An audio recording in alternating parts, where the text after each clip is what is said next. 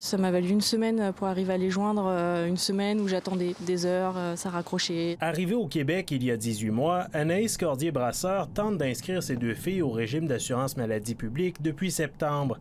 Elle a appelé des dizaines de fois à la RAMQ avant de finalement pouvoir faire sa demande. Puis, à partir de là, silence radio, donc j'ai essayé de les rejoindre, euh, impossible à les avoir. Sans carte, une récente visite à l'hôpital pour une de ses filles lui a coûté 1280 dollars. Quel sentiment ça suscite chez vous tout ça? Euh, de la colère, c'est de la, de la colère parce que chaque semaine euh, je reçois un nouveau courrier, chaque semaine euh, je refais des démarches, des, des déclarations sous serment. Oui, bonjour Madame Moellette. Anne-Marie dirige une entreprise qui aide les travailleurs étrangers temporaires à s'installer au Québec. Obtenir un rendez-vous avec la RAMQ est compliqué.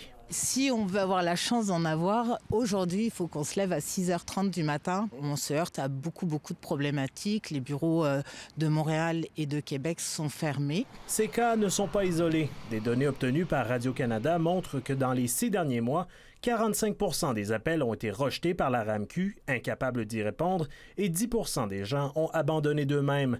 La régie manque d'employés, des milliers de dossiers sont en retard. C'est inacceptable que les gens ne puissent pas avoir accès à ce service-là. Le ministre de la Santé, là, il dit souvent c'est un comptable, il aime ça les chiffres, il aime ça les colonnes de chiffres. Bien, qu'ils prennent la colonne de chiffres des gens qui attendent ici là, pour se faire servir, puis qu'ils règlent ce problème-là.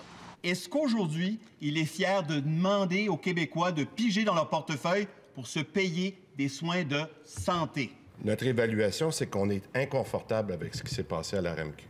Soyons, soyons clairs sur ça. C'est pas le genre de service à la clientèle qui doit être en place. Le ministre de la Santé dit que la RAMQ travaille à développer un service web plus accessible. En attendant, Anaïs ne sait pas quand ses filles auront leur carte d'assurance maladie. Je suis fatiguée, que j'en ai marre. Quoi. C'est, euh, En France, ça peut être long, l'administration, mais euh, pas aussi long. Ici Raphaël Beaumont-Drouin, Radio-Canada, Québec.